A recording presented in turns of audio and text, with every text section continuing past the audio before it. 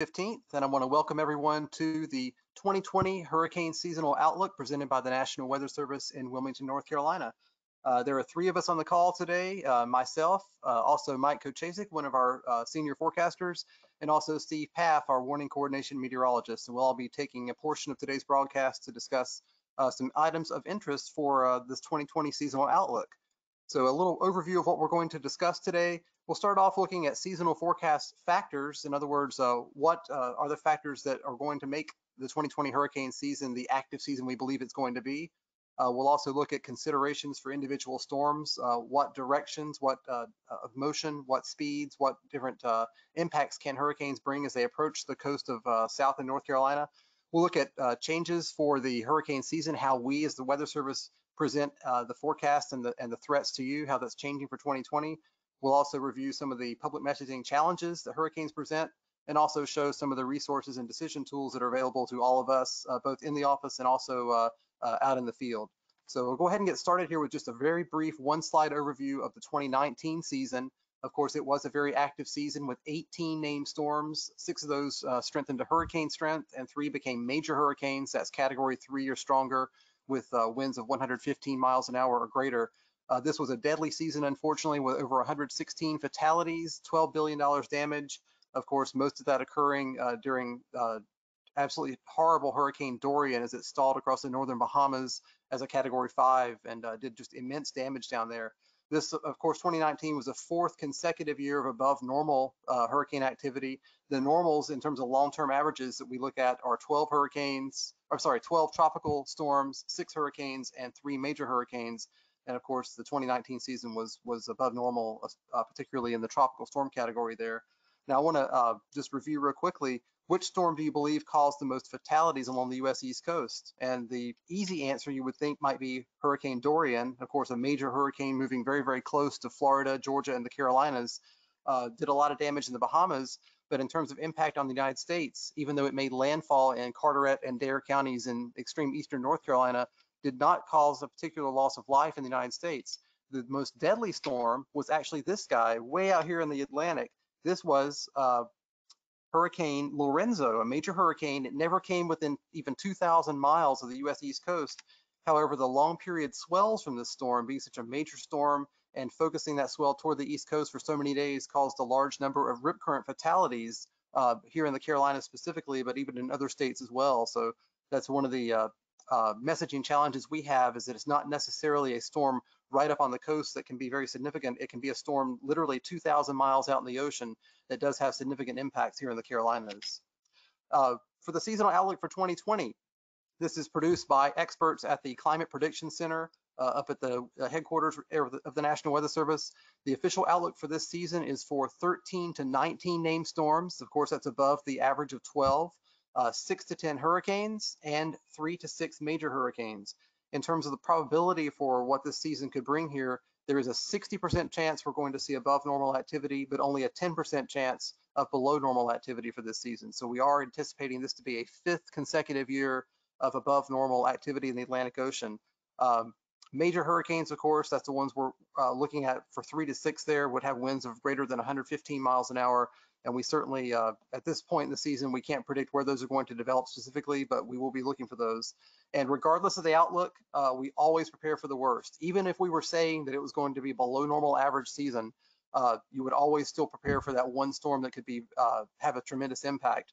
Uh, look back to like 1992, for example, Hurricane Andrew hit South Florida.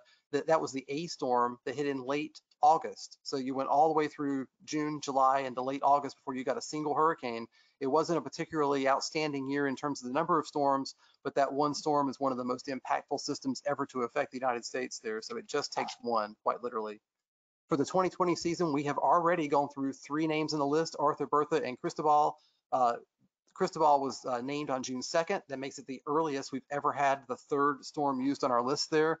So certainly this season already setting records, even though we're just getting started here. And you can see this list goes all the way down through the uh, W storm. That would be if we had an extremely active season. Uh, that would be what the 21st uh, storm in the alphabet uh, list there.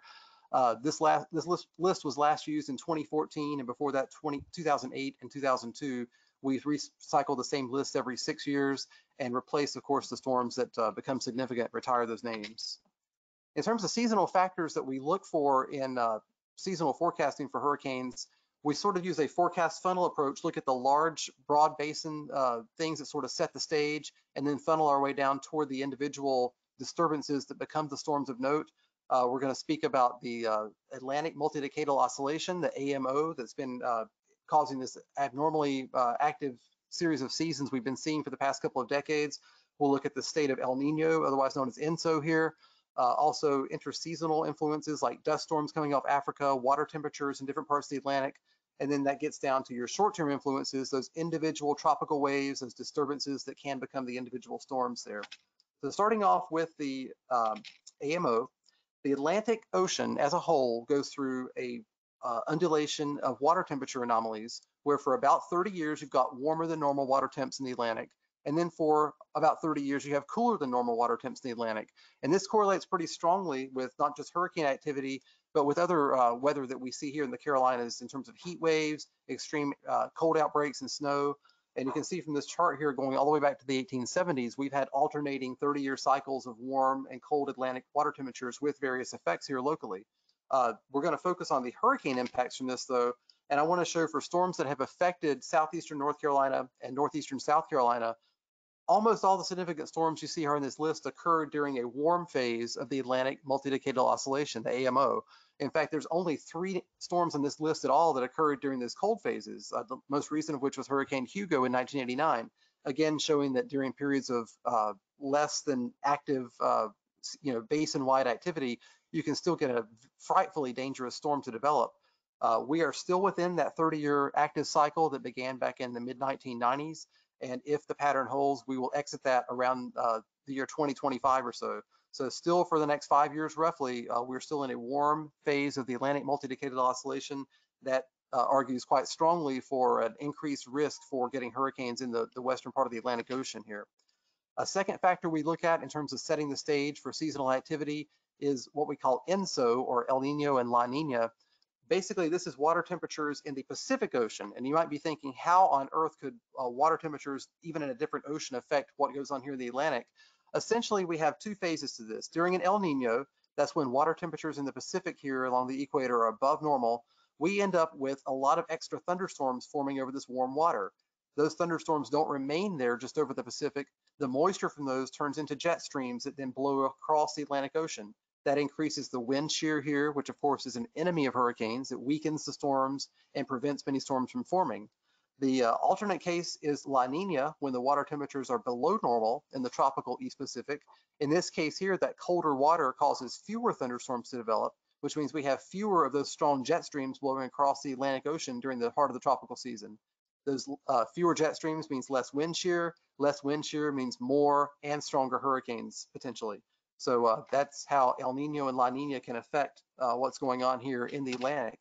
Now, where are we right now? Well, uh, we're currently in neutral conditions, which, mean, which means neither El Nino, neither El Nino nor La Nina are occurring, uh, but the uh, indications are that we may be drifting toward a La Nina by the heart of the hurricane season.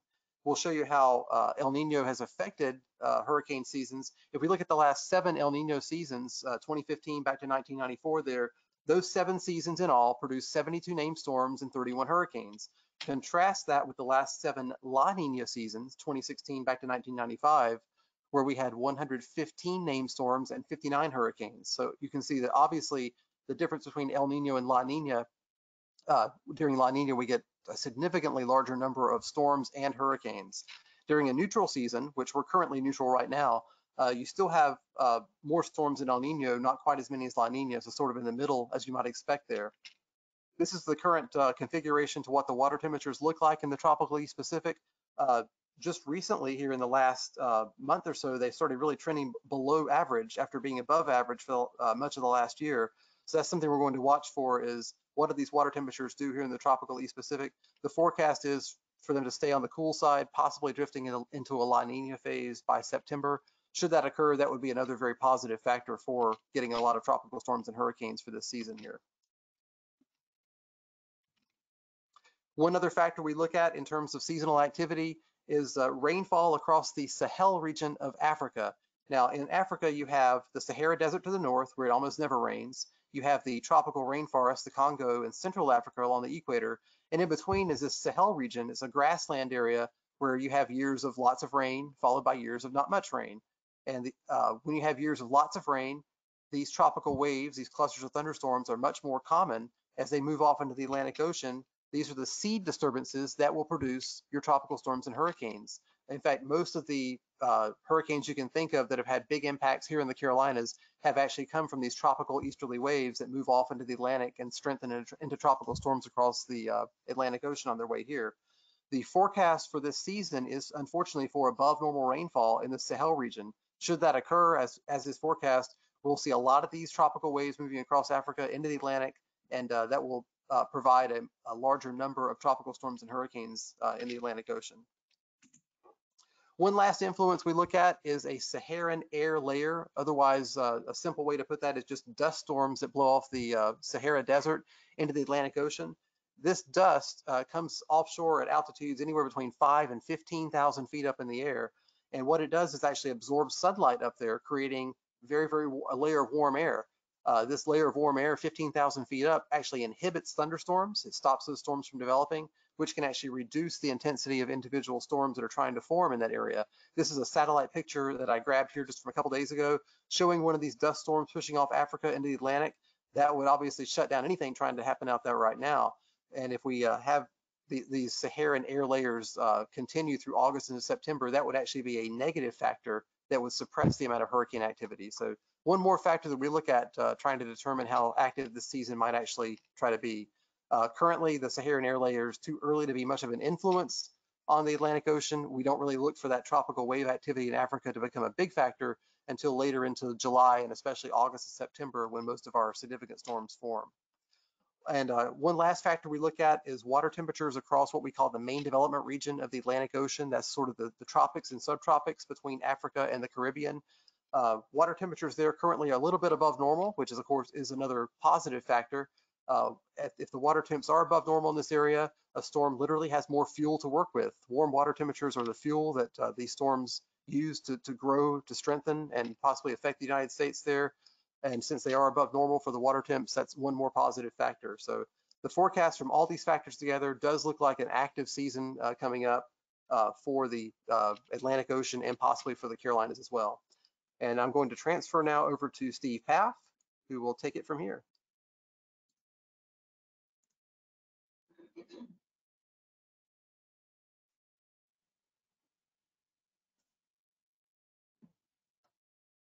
Okay, uh, thanks, Tim. Um, can you see my screen, Tim and Mike, just to double check? Yes. Okay, great. Uh, you know, thank you. Hello, everyone. Thanks for joining us today. And you know, my part of the presentation is the focus on just some storm considerations. You think about all the storms we've had over the years, especially the last couple of years. We had one approach us from the east, Florence, and then Dorian, uh, which is your your more typical route of storms in our in our western part of the Atlantic basin uh, coming up from the south. And if you recall, uh, with the impacts, you know, we had the arrival of some impacts uh, versus uh, some were a little bit slower, and that's a function of how the storm approaches the coast. So we'll talk about the various impacts with the angle of approach. Want to get into some of the, the changes with the hurricane program this this year and then talk about some of the messaging challenges we have before I turn it over to Mike. So let's let's start with the impacts and angle of approach. And you see the differences here. Florence, very atypical approach for our latitude and our longitude. Uh, Dorian is more of the, the principal track that we see something coming up from the south. And when we look at the various aspects with surge, and then we'll look at uh, rainfall, wind, and then tornadoes, with storm surge, a westerly track similar to what we had with Florence means that those the area's strongest winds are going to move onshore, which would enhance the surge. So basically, we have the part of the storm that is the effective fetch, the part of the storm where the direction of motion is the same as the wind circulation around the storm. And with, with Florence in particular, it was on the uh, northern side. Uh, you get that effective fetch focused on the coast and you can have prolific storm surge. Now you can also have prolific storm surge with a parallel track especially if the center is closer to the coast. Now, with Dorian, it was a little farther offshore, but uh, a storm like with Hurricane Floyd or Fran coming in uh, from the south, you can have sig significant surge focused on these bays. With Hazel coming ashore near Calabash, there are storm surge above ground level over 18 feet in some parts of Brunswick County. So the shape of the coast is important, uh, but also the angle of approach. And it's extremely complex too, because you're talking about the size of the storm, the intensity of the storm. Is the peak surge going to occur with any tidal anomalies, astronomical tides? Are they at a full moon or, or a new moon? Uh, but, but either way, uh, surge is very complex, uh, but we certainly don't want to see where that effective fetch is focused right on the coastline or if it's coincident with with full moon and uh, other things going on. Uh, as far as the rainfall flooding, either track can provide significant impacts. You recall with Florence, we've had over 35 inches of, of rain. The orientation was generally from the southeast to the northwest, the axis of heavy rainfall. And with uh, Floyd coming up from the south, we had we had over 18 inches of rain from Floyd, and the axis is usually a south to north type of configuration. So you can have significant rainfall either track depending on the storm's forward speed, interaction with other synoptic features such as stationary fronts or, or cold fronts. Uh, so there's, uh, you know, again, another complex uh, situation uh, depending on a whole host of things. And then with wind, either track could provide significant impacts. Overall, it, it, will depend on the intensity of the storm, and the proximity of the strongest winds associated with with the eye wall. Uh, I think it was Hurricane Helene gave us the the peak winds at the Wilmington airport. Uh, Helene's track was offshore, but generally we see uh, storms that track onshore. We get those stronger winds able to move onshore as well. Now the big differences with uh, Dorian and Florence was with tornadoes. Both storms generated 35 tornado warnings from the Wilmington office I, I think we had about 18 storms, uh, tornadoes each with each storm. Uh, Florence probably had more. We just couldn't get to a lot of the areas in some of uh, Holly Shelter and some other things. Uh, but still, they're both storms were prolific tornado makers. But if you recall with Dorian, the tornadoes were the first impacts to arrive. But with Florence, the tornadoes came basically came the day after the storm made landfall. And a lot of that has to do with uh, what is going to arrive first, the, in particular the eastern half of the storm. That's where the, the shear is greatest to support rotating thunderstorms within the spiral bands, and that's the side of the storm that we typically will see more tornadoes. And with Dorian, that eastern half arrived into the Cape Fear area first, which is why tornadoes led the way of all the impacts. However, with Florence, the eastern half came a day after Florence made landfall. So we, we had eye wall winds from Florence that arrived first and then flash flooding. And then that Saturday, uh, the day after landfall, it, it shifted to primarily flash flooding and tornado outbreak. And when we look at a study uh, done by Roger Edwards at the Storm Prediction Center, and this is looking at the distribution of tornadoes with north relatives. So if, if the center of the storm is right here, and we're looking north, east, south, and west. Most of the tornadoes occur in the, the northern quadrant through the south-southeastern quadrants. You can get tornadoes in all quadrants of, of a storm, but most are on that eastern half, which is why I highlighted the eastern half with Dorian and Florence based off of that research. So the angle of approach is significant uh, into the various types of impacts that we can occur that, can occur with each of the storms. So as far as some program changes that are that are coming up for this year, uh, the first one we're excited about, the, being led by the National Hurricane Center, is a graphical depiction of storm surge above ground level, and this was an example from Hurricane Dorian. They started doing these for social media uh, during Hurricane Florence and Hurricane Michael a couple of years ago uh, for their, you know, again for their their social media, but as, as far as a briefing tool, this is one graphic we're going to include. They're going to generate these with each advisory uh, as far as their other uh, and their suite of products. And I think it's a great 10,000 foot level of what the surge is expected to be. There are partners that we have that need information uh, down to town uh, town scale and county scale, and we have probabilistic storm surge data we can use to brief our partners on that. But this is a good overview of where the surge is expected to be highest. And, and again, it's very complex depending on the shape of the coast, the hydrology in the area, the angle of approach with the storm, the tides and all of that. Uh, but, but this is just a really good briefing slide that we'll be able to share with you this year. The other changes, the Hurricane Center, their forecast discussion, their reasoning behind what they're they're doing. It's a textual product.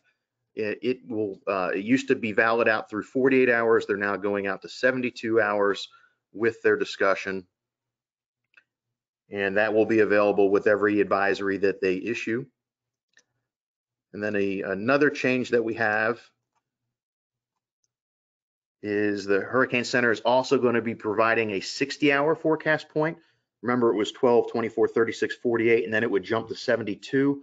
Well, now there's going to be an, uh, a go-between point at 60 hours, which will help with any storm that has curvature. You know, people tend to think that uh, the storms move in straight lines when there's a lot of curvature and you have a big void between 48, 48 hours and 72 hours where that 60 hour point will help show the curvature a little bit better.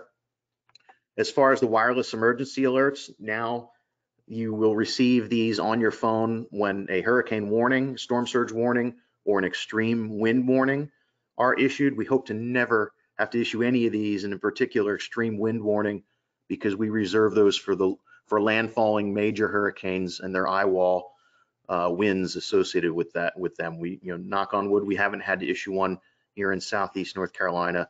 Uh, we you, we would for something like Fran or for for Hazel. So it'll just be a matter of time before we have to do it. Hopefully, just not uh, anytime soon. And the last of the the changes they're implementing this year is in a in a uh, online software called HURREVAC.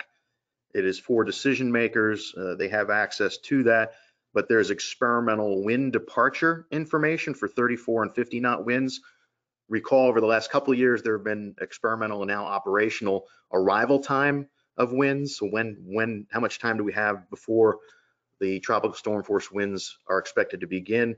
Well, when you think about going through an event, the arrival winds are important, but also when is it safe wind wise to get back out and begin the recovery and the responses that, that need to occur.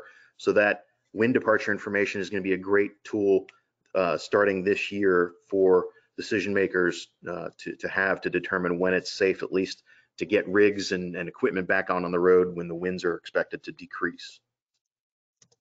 And some reminders, like this example on the left-hand side, a key messages slide that's generated with every advisory, and it's on uh, social media by the National Hurricane Center.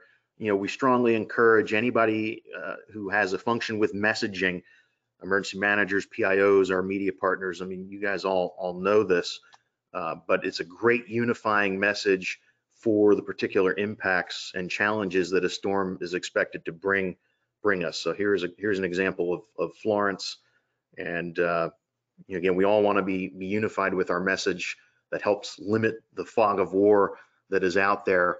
Uh, with all the misinformation that is on the internet, um, this is a great message to keep everybody focused on.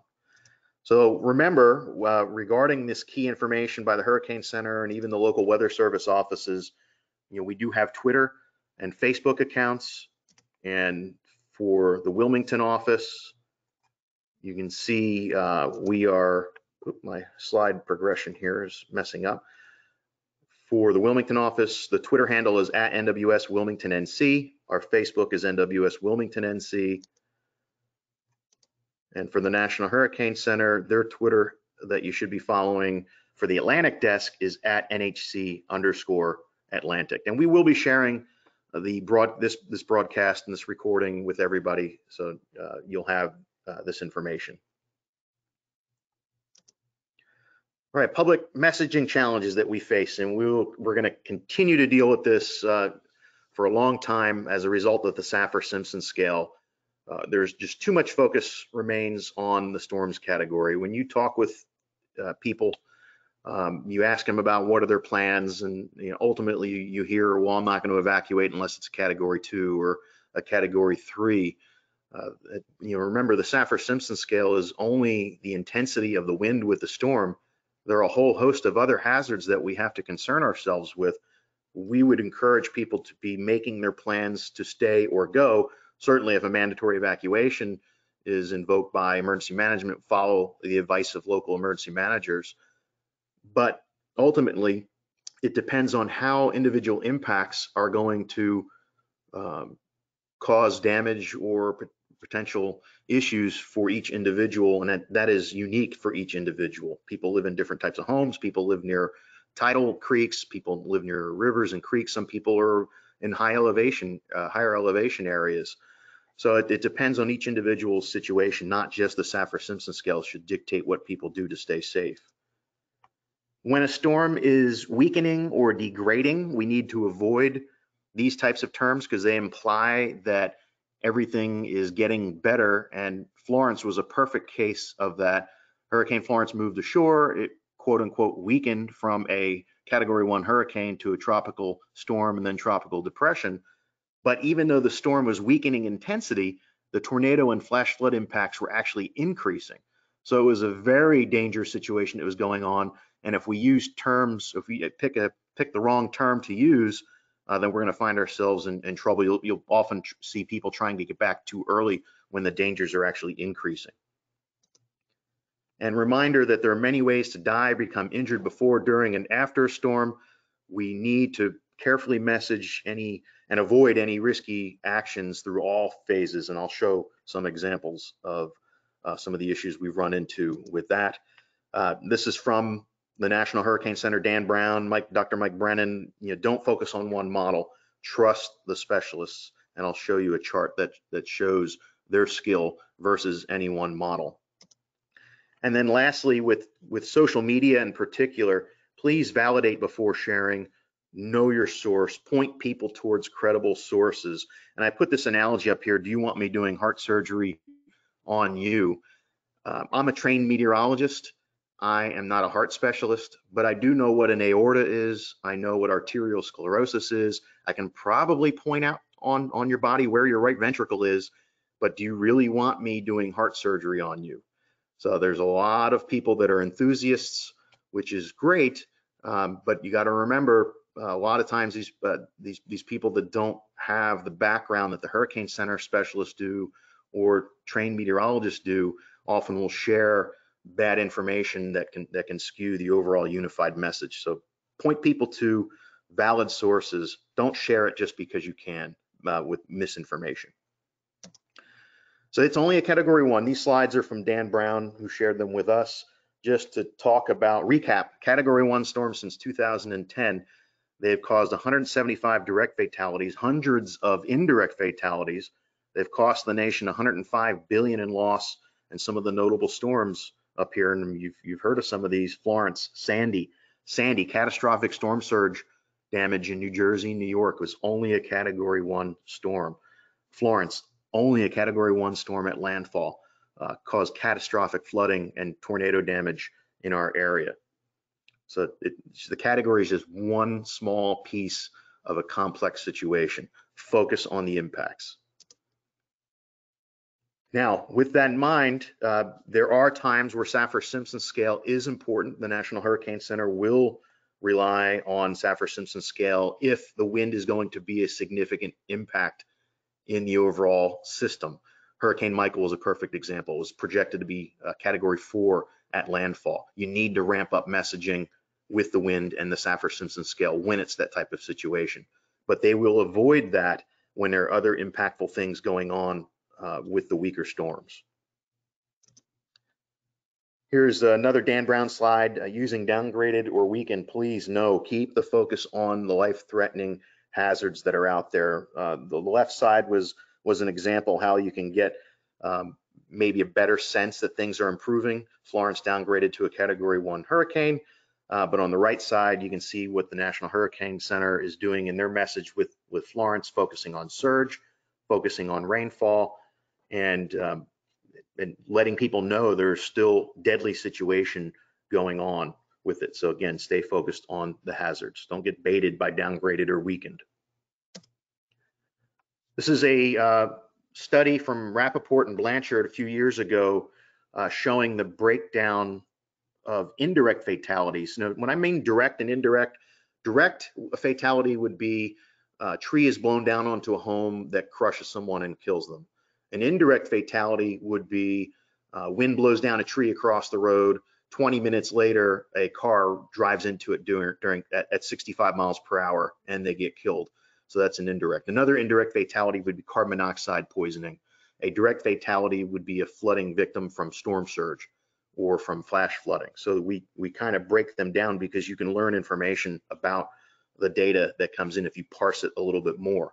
But when you look at indirect deaths by age, there are eight times as many victims over age 660 as under 21 year olds. And if you think about after storm comes through, there's stress, there's anxiety, so there's there's that that mental aspect that's destabilizing one's one's health uh, going on, and then you have the damage occur. You have uh, long periods of of power outages. It's hot and humid air mass, typically the big tropical air mass that follows these storms uh, on the heels of the storms. You have people working out outside, they're overexerting themselves, and they're increasing the risk for cardiovascular type of health issue with that. And that's why the numbers are, are higher for over 60 year olds than under 21 year olds. And when you look at the breakdown of deaths of seniors age uh, 60, uh, greater than 60, and you break it down into the various categories, you know, the, over 45%, the, the bulwark of the, these fatalities are, are cardiovascular related. So I think we need to be careful uh, with, with uh, special messaging uh, for different groups, but anyone uh, can suffer from an indirect fatality at, at, any age. We've had many different types. The, the top left example, we had uh, an elder, elderly person putting up hurricane boards on their home before Dorian and fell off a ladder and died. We had a contractor killed in the cleanup after Dorian uh, with a chainsaw uh, accident uh, after Florence. We've had many people in North Carolina fall off the roofs of their home trying to put tarps to cover up the roof damage, falling off the roof or a ladder. And we even had one after Florence cleaning up debris, cut his leg on the debris, walked through polluted water, and got sepsis and died within two days. So it's not just the wind, it's not just the surge or the tornadoes. We got to think of uh, the whole scope of fatalities, direct and indirect, for these events. And this uh, is a Dan Brown slide as well. You know, there's spaghetti models versus the Hurricane Center forecast. Please stick with the Hurricane Center forecast. They have over 175 years of combined experience.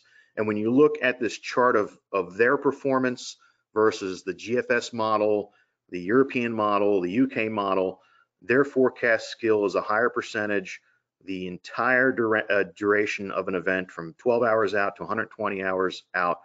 These guys know the model biases. These guys uh, know um, which models are performing better uh, than than others and able to um, take advantage of of that and the biases, the model biases that are out there. And Dr. Brennan uh, said this a couple years ago, and it resonated with me. If you only rely on one model, then you're doomed to fail and some model the GFS does better than the European. Uh, sometimes some events the GFS does better than the European model and, and vice versa. You got to look at a whole host of things and not just one particular model and the perturbation of models that are that are out there and they have access to all of that. Just uh, real quick about social media again, validate your information. We see fake headlines, content and graphics. You see it before a storm uh, occurs, usually that's that sensationalized model or forecast information. You'll get out of a thousand models, you'll get per, a person post the one that brings the category five to the coast and ignores 999 of the other models. You'll see it during events, you get regurgitated information from old events and impacts, and immediately after events, you see manipulated images.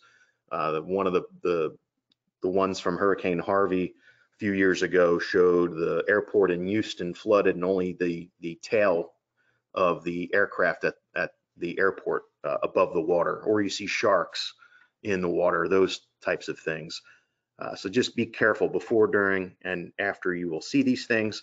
The, the fake information occurs in worst case scenarios. They're only, again, they're only showing that one type of thing. They're hijacking credible sources. That picture to the right is, is the uh, Hurricane Center framework and they took Hurricane Irma and extended the forecast and brought it right to the Texas coast, who just suffered from Hurricane Harvey that year. So they're they're they're taking over graphics and making them look official. And then uh, you know being able to identify fake weather information is is a, a good starting point. Does the image make sense? Like the one on the right, the caption is Hurricane Harvey rolling in from a cargo ship 90 miles out from Corpus Christi. Well, if Harvey's a category four storm, do you think that the ocean is going to look like a lake in that picture there? All that was was a thunderstorm in the distance from a cargo ship. So the picture is is real, but the situation was not. So just you know, be mindful. You might be able to pick out some cues uh, if it's real or not. Can you validate it through a web search? You can copy an image into into Google and it'll tell you if it's already out there. So there are ways to validate it. But just overall, you know, help us stop the spread of false weather information. This fake information could go viral quickly. And unfortunately, you can skew that unified message so much that it might impact decisions people make regarding their life and safety. So we've got to be careful. If you see misinformation, direct it towards uh, direct the good information from the Hurricane Center emergency management websites. You you get get that in there, steer it to the right path. All right, just some key points before I turn it over to Mike Kachasik. Uh, we, you know, the Cape Fear area, all parts of North and South Carolina, coastal areas, we have a significant hurricane history. The problem is only going to increase as the area continues to grow. Uh, based on our hurricane climatology, if we haven't learned from our past, then we haven't learned anything yet. Um, we, we're, we're, good at planning for events that have occurred before, but are we going to be able to handle events that we haven't seen in a long time, like Hurricane Hazel, Category 4, the type of situation? Uh, so we have that history. We need to be prepared regardless of what the forecast is. Remember that the storm's intensity, size, angle of approach is going to dictate the impacts. Uh, we can't let our guard down if it's an easterly to west track or south to north track. We, we got to look at more of the details to determine what those impacts are going to be. And there are, are factors that contribute to what happens during each hurricane season. And the main point after everything that Tim went through, and he mentioned this, regardless of the forecast, all it takes is one. We need to prepare regardless of the situation, regardless of that forecast from year to year. And then uh, to reiterate, the indirect fatalities, we've got to avoid risky actions before, during, and after hurricane, and also be prepared for fake weather information. It's going to happen, but also be prepared to direct it to the credible source of information. All right, um, Mike, I'm going to make you the presenter so we can finish up the presentation with your overview. Excellent. Thank you, Steve. And good morning, everyone. I am Mike, and I will be your tour guide here for some awesome tools that are online that can help you out. And I'll turn on my webcam here. Hopefully you can see me. That way you can see who's talking at you. Here we go. All right. So let's put that down and uh, get going here. Oh, before I get going, um, there's some questions that you can ask in the questions box. Also, there's a chat option if you want to chat us and ask a question in that way too for myself or Steve or Tim here. And when I'm done going through some of these tools, you'll have a chance to ask questions and we can open up the floor, open or unmute your mic and uh, we can chat. So feel free to ask questions as we go and uh, we'll get to them afterwards here. So the first place that you can go for some cool tools is weather.gov, gov for government. We're still confused sometimes with .com. That is Stephanie Abrams and Jim Cantore. If you want Steve's past forecast, if you want Tim Armstrong or the rest of our talented meteorologists at the office, you'll go to weather.gov to get our information. So you'll see this big map here at weather.gov, and you can click on any spot in the country and get a tailored forecast for that location.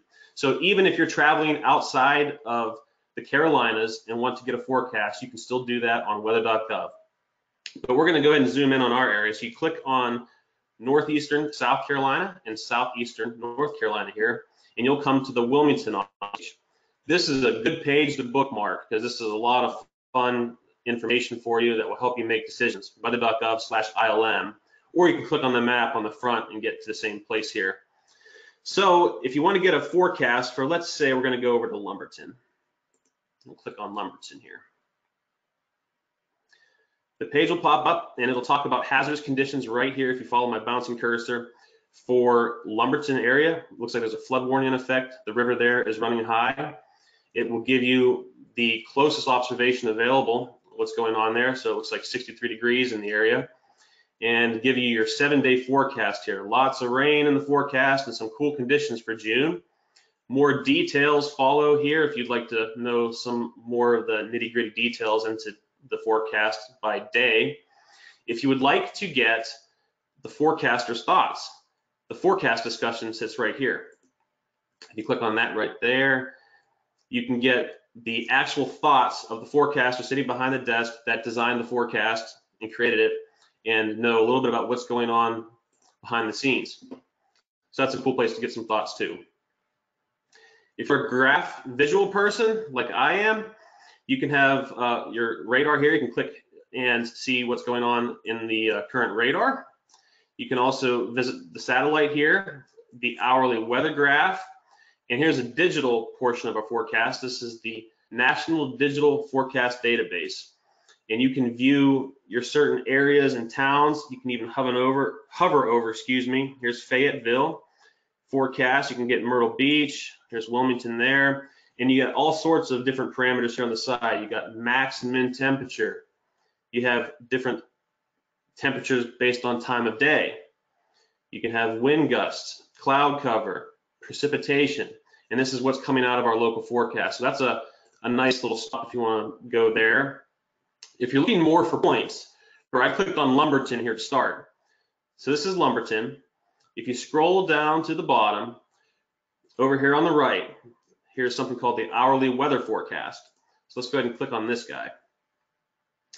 So what you're seeing here is for the point of Lumberton or your point of interest, wherever you want to click, it will give you hour by hour temperature, dew point, wind speed, wind gust, and direction is on this chart. You have relative humidity. You have precipitation chances, and uh, I think this is chances of thunder right here. Yep.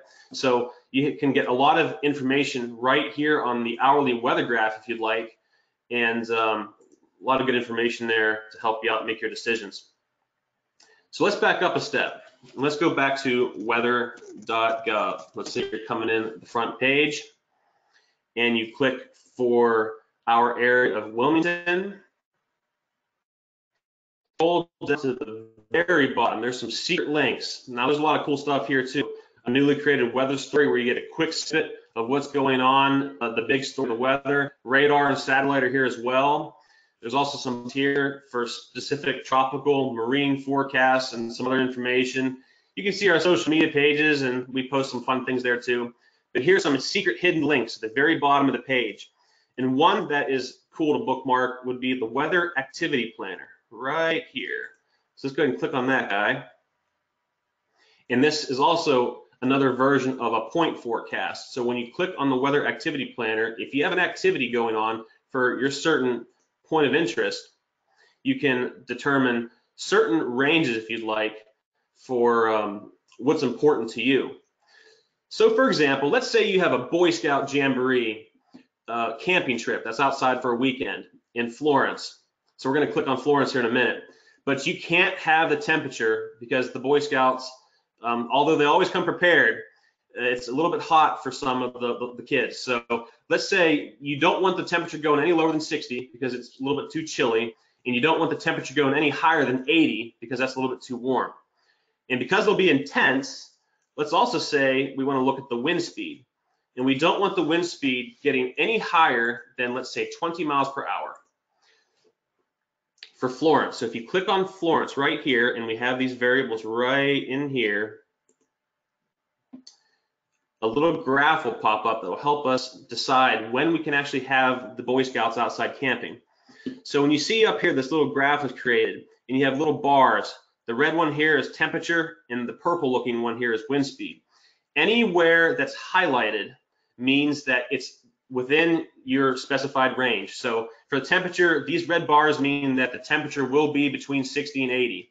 If you hover over it, just down here below the chart, you'll see the values. You can see 67, you can see the wind, speed, and direction.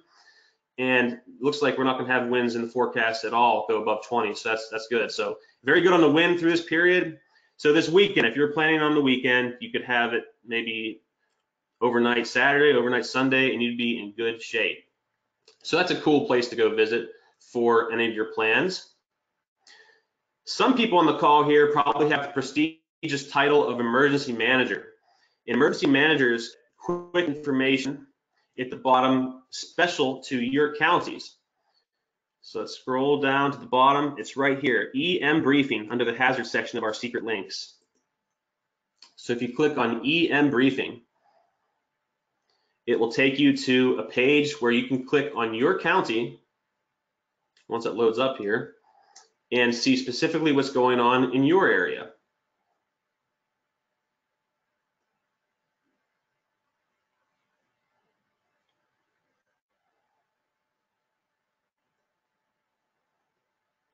So here we go. We got it loaded up here. And you can see the different offices here. If you wanted to jump to Charleston or Newport weather, that's also Morehead City, Raleigh or Columbia, more inland, you can click on those offices and get what they're thinking.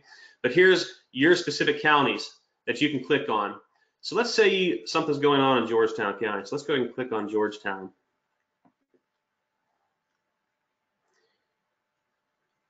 this page is set up specifically for the EM of Georgetown. And I'm not sure if the EM from Georgetown's on the call or not, but for any EM, you can submit to us events that you're concerned with that are going on in your county, and we can add those to the side here. And you can have specific forecasts for any of these locations or events.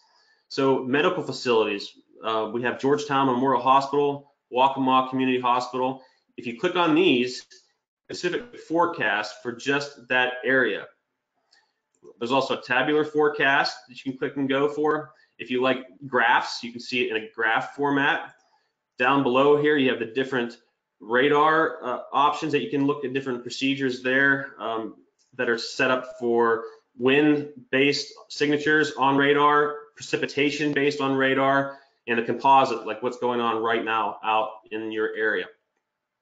So those are some cool tools. Um, I saw Steve highlighted his presentation that you can go visit the Storm Prediction Center. That's the SPC. It's a good page to bookmark. And don't worry if you're not catching all this right now. We can send out the important links uh, in email afterwards. That way you have a chance to bookmark them if you didn't catch them in this presentation. Also, it'll be recorded so you can go back and reference it for material too. But here's the Storm Prediction Center, and this is the current day outlook. So we have a couple general thunder areas here and marginal risks for severe weather. If you go down the page a little bit, I believe not loading up yet, but there's a little bit of a legend that will pop up down below. There it is. It'll tell you what each of the risk categories mean. Oh no, tomorrow's gonna have a slight risk. So where's this gonna be? Let's click on day two and see where this goes. Hopefully not for our area. So if we look and see for day two, if you're worried about tomorrow, oh, okay, good. Slight risk is only for the Dakotas, North and South Dakota. We do have a general thunder area here that we're not expecting severe weather at this time. So this is a cool place to go uh, in the winter, not, excuse me, tropical season. The National Hurricane page will probably be a very good friend of yours. That is nhc.noaa.gov.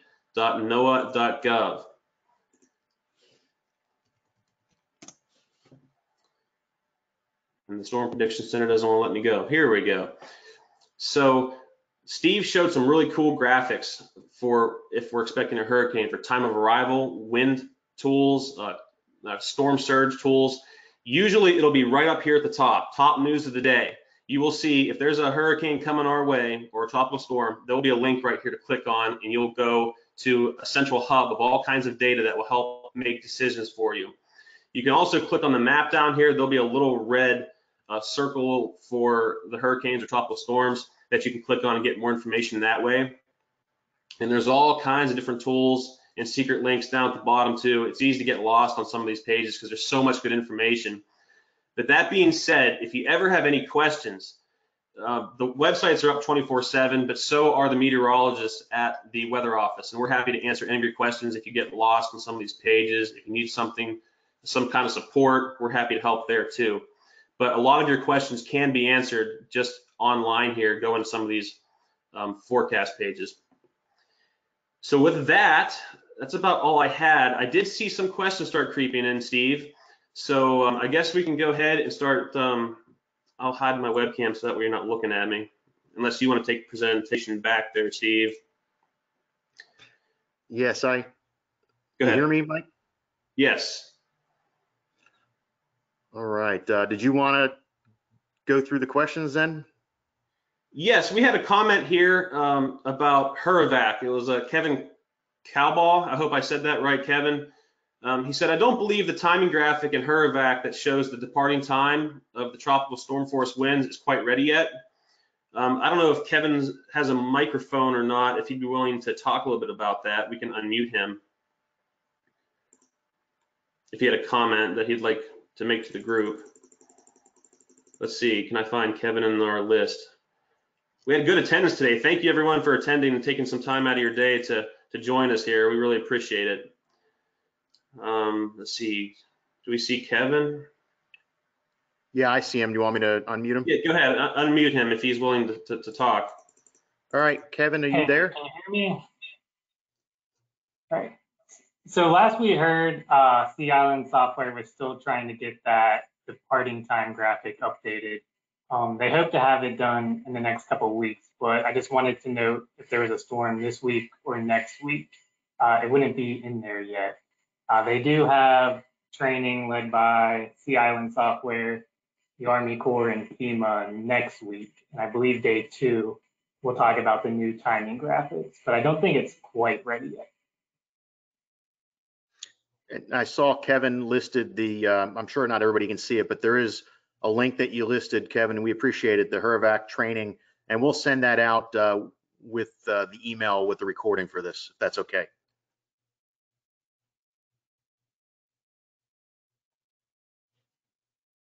Hearing nothing, I'm assuming it's okay. So we had another question from Otis White, actually. Um, maybe this is more geared towards Tim, if he's around still. Um, we seem to be experiencing a very wet season, as we did with Florence, and that's true. How will this affect the flooding as we have the storms hit? Any comments on that? Yeah, hey, this is Tim. Uh, yeah, we certainly are in a very wet pattern. We're uh, we had a, a fairly wet spring across the Carolinas, and of course now that we're into meteorological summer into June, uh, it's raining like cats and dogs out there. Soils are saturated. Uh, the outlook for the remainder of the summer up through the heart of the hurricane season is for uh, enhanced chances of above normal rainfall. So I don't see much potential. We're going to dry things out significantly. Obviously, it's not going to rain like this all the way through September, thankfully, but uh, the, the odds do favor having very wet soils, high river levels continuing uh, in, into the heart of the hurricane season. So should we get into a storm situation, it, it wouldn't have to be a Florence, just a, you know, your more uh, typical, you know, weaker uh, tropical system. The chances of flooding would be uh, enhanced much higher than you normally would see in just a normal situation. So that will be something we watch for very closely. And it also probably depends on the angle of um, approach by the hurricane. Is that right, Steve? Yeah, and especially the way that the, you know, the antecedent conditions that Tim is talking about. I mean, you, just imagine Florence if it had the antecedent conditions that Floyd had. You know, everything was saturated then. Uh, it's just a strike against us having this wet pattern in place as we head into uh, deeper into hurricane season. But the angle of approach, you know, is it, is it slow moving storm could could be bad. It, it it it could be a tropical storm, tropical storm Allison that uh, moved ashore along the Texas coast. I, I believe produced over 35 inches of rain, and it quote unquote was only a tropical storm. So there's there's a lot of background factors, and you know Otis brings up a good point with with their rainfall, and uh, you know we we certainly would rather have it much drier. We don't want a drought, but we you know we want it much drier heading into the peak of hurricane season. We had another question here for Steve.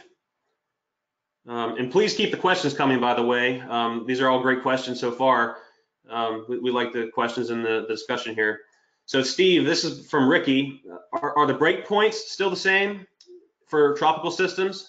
And have there been any that have been added? No, our, our breakpoints are the same. They seem to work very well uh, for us. Uh, So there have been no, no changes at this time. Okay, very good. Does everybody know what breakpoints are? Do you want to give a quick?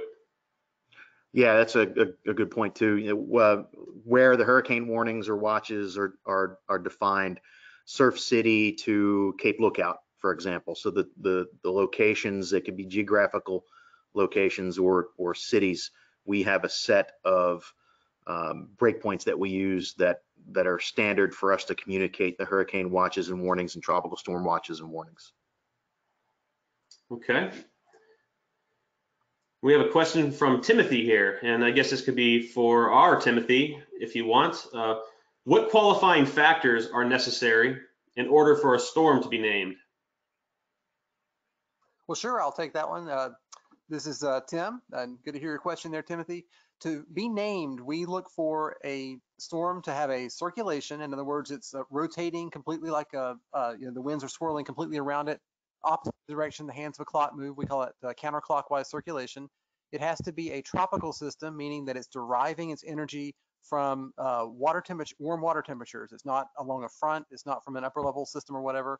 Uh, once those two are satisfied, then we look at the wind speeds. Once the sustained wind speeds reach 39 miles an hour, it's now considered to be a tropical storm and it receives a name. And that's that list that I showed that uh, starts with A, goes all the way down to the W storm for each year.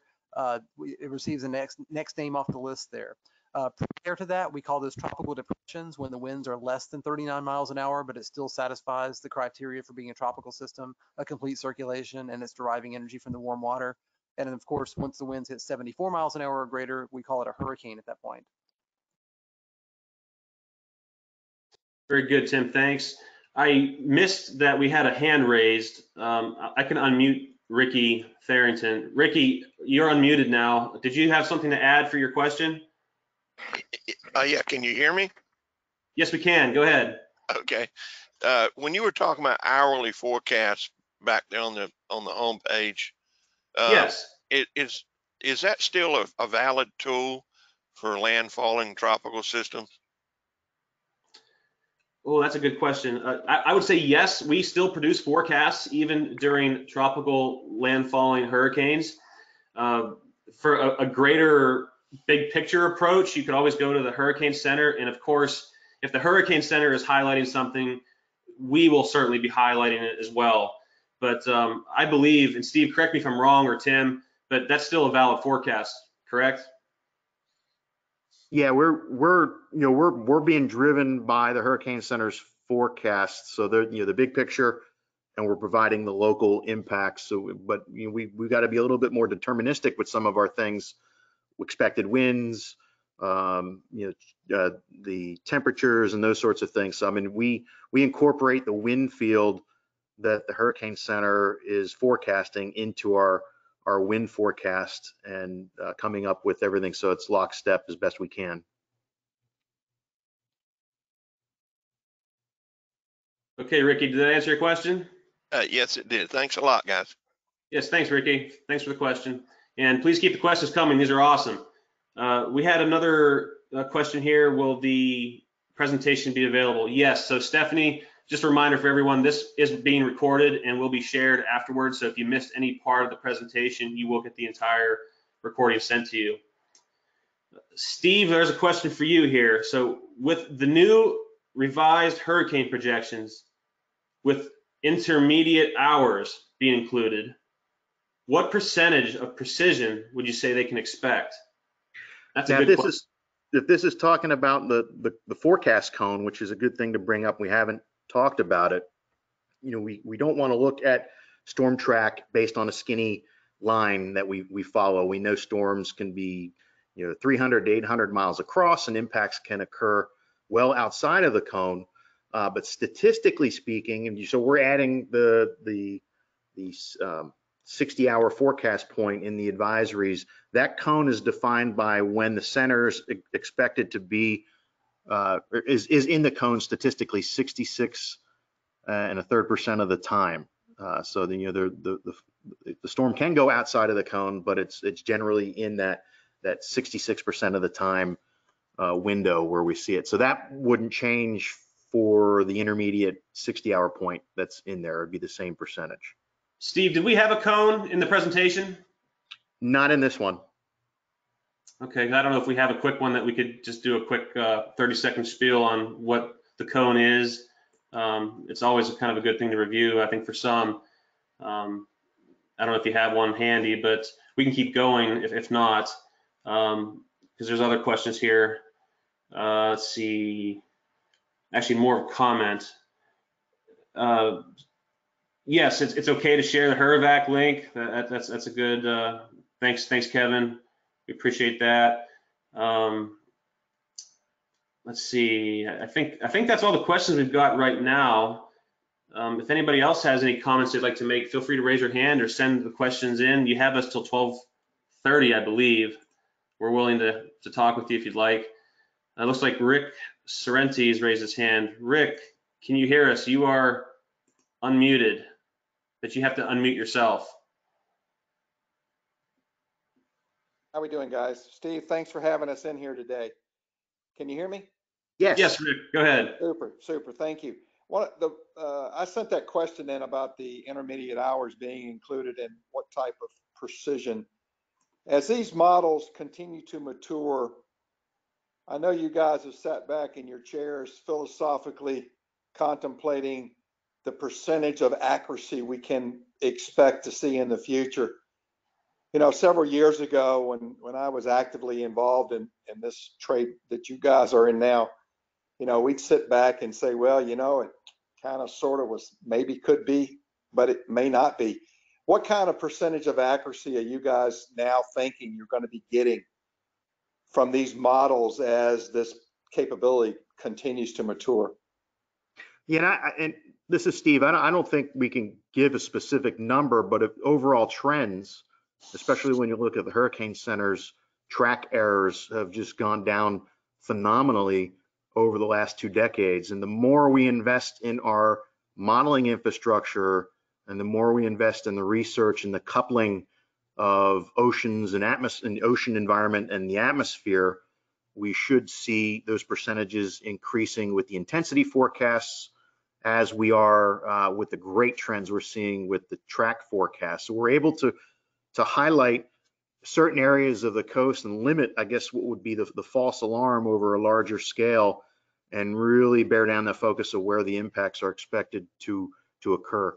Uncertainty is always going to exist uh, because there is no perfect model out there. Uh, it's, it's very difficult when you're dealing with storms in an environment where there's very little information. You know, the, there's buoy data, the hurricane hunters are so important, satellite data is so important, radar is important. So you see the importance of that observational framework that's in place uh, because without observations, you can have the perfect model, but it'll be useless because it doesn't have a starting point.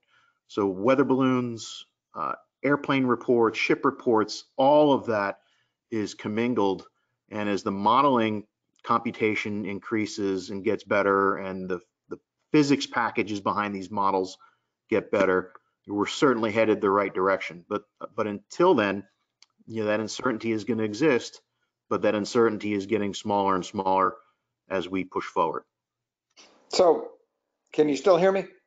Yes. Uh, you mentioned buoys. You know, a couple of years ago, uh, several of us were engaged in trying to get our congressional representation to provide funding for the buoys that were deactivated along the North Carolina coast. Uh, has any of that funding appeared or reappeared, or are we still dealing with the same set of buoys? I, I think we're seeing advances with some of the cooperative networks that the universities run and ocean observing networks. And we're fortunate in the Cape Fear area. We have we have uh, UNCW Center for Marine Science that, that uh, is part of CORMP, the Coastal Ocean Research Monitoring Program, and they have done a phenomenal uh, job working not only with its partners in the Weather Service, but partners in emergency management, lifeguards, and, and other stakeholders uh, with their deployment of various buoy systems that are out there. And, and fortunate for us, we're able to look at that data and they actually send a lot of the data through the National Data Buoy Center. So there are cooperative opportunities that are out there that help fill in a lot of the holes that we have. Um, but when you when you're talking about a forecast environment, you know, having a Gulfstream aircraft that can gather data uh, at, of the upper level environment ahead of the storms. You have hurricane hunters that go right into the hurricane and, and take uh, just critical information and and the buoy networks that are out there uh, through the buoy center. They're, they're you know they're they're fewer and farther between as you go farther offshore. Uh, so that's it's it's it's it's all about the observations. But fortunately, getting back to your your question, uh, Rick, is you know we're, we're fortunate to have partners in the academic world through these ocean observing programs that can help us. Super, thank you. Thanks, Rick, for the question. And uh, Steve, I shared an old cone graphic here from Hurricane Sandy. I don't know if you can see it or want to kind of talk about it real quick. Yeah, and then you know this. Oh, you got the you got the cone picture up on your screen, not mine. Um, but you notice the cone as as the hur- the Hurricane Center's track errors decrease, the cone decreases.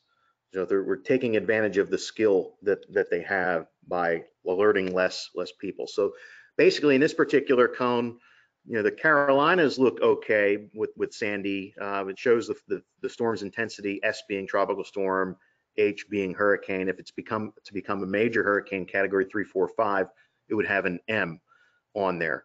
But basically, with this track, we're saying that that Sandy is going to be in this cone 66 percent of the time. So there's just enough uncertainty where it can get outside the cone, but this is the overall general trend in in the track that we're we're seeing. So the we don't we want to be very careful when you're dealing with people looking at this cone as and treating it as an impact cone.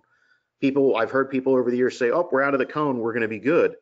But, you know, the storm is 600 miles across and we are going to get heavy rain and storm surge from it. So it's, it's, I think the first key point I would have for you is this is not an impact cone, but it is a cone to help people better understand all of the uncertainty that is out there. And it's expected to be at least statistically somewhere in that cone uh, throughout the next five days. And I think Tim was showing, and Tim, feel free to comment that even storms, you know, a thousand, two thousand miles away can create dangerous uh, surf for us. You know, even if it's not coming our way directly. That's correct. And I also want to mention that uh, a storm doesn't even have to be right here on us to have tremendous impacts. If you remember about 10 years ago, a hurricane named Joaquin stayed uh, hundreds of miles off the coast, but moisture from that was back toward the coast and produced one of South Carolina's greatest flooding disasters ever. So even the hurricane itself may not even be uh, right here on us, but still have tremendous impacts. Excellent. Um, I see Ricky Farrington raise his hand again. Um, I can't, I just, I'm sorry, I, I just lowered your hand there, Ricky. We'll have to get back to you. Rick, can you raise your hand again, Ricky? And we'll, we'll, we'll, we'll call on you again. Um, there's another question here from Dennis. Um, is it possible to have a tornado from a tropical system that may not be warned, similar to a severe thunderstorm warning that never progresses into a tornado warning? Yeah, this is Steve. I mean, when, there are times where the rotation can be so small and far enough away from the radar where there are just uh, natural physical limitations. You can't beat the science, you can't beat physics, basically, where there could be unwarned events. And statistically, across the agency, I believe 70, it's around 70% of um, is the probability detection for, for tornadoes. Uh, with uh, Florence and with Dorian, I believe we were pushing 90% detection. Uh, so it's it's a great system. There are some limitations uh, that uh, that we have to deal with, unfortunately. Just you know, again, you just can't beat physics. You know, the curvature of the Earth, uh, the beam spreading that occurs, the the small rotation that is characteristic of of the tropical cyclone tornadoes and to compare and contrast them, uh, you know, tropical cyclone tornadoes will spin down from the lowest part of the hurricane of, of the thunderstorm with this tornado. Uh, the Plains, the, the classic tornado alley uh, tornadoes, uh, they spin down from the middle part of the thunderstorm. So there's a little bit more lead time with the classic tornadoes and a little bit less lead time uh, when you look at the overall statistics with tropical cyclone tornadoes because they spin down quicker. Thanks, Steve, and hopefully that answered your question there, Dennis. Uh, we found Ricky again. Ricky, you are unmuted. Can you hear us? Yes, sir. Can you hear me? Yes, sir. Go ahead. Okay, this is kind of a hydro question, uh, either Steve or Tim, uh, or whoever, but, uh, is freshwater flooding, Vaz's title, uh, is, is freshwater still, uh, responsible for most all the deaths in, in, uh, uh, statistically now for tropical landfall tropical systems? Tim, you want that one? I was going to defer to you. My understanding is that freshwater flooding is still the number one killer. Uh, it wasn't with last season. We saw, you know, the, the preponderance of deaths here in the United States anyway from uh, rip current fatalities, but still with Hurricane Florence and uh, looking back through history to Floyd, for example, I believe freshwater flooding is still number one. Yeah, Tim, Tim, you're, you're right on, especially our- the storms in our area, uh, those that are making more of a direct impact, uh, the Floyds, the, uh, the Florences, those, those, and Matthews, we, you know, most are, and most of the freshwater drownings that we have are vehicular related.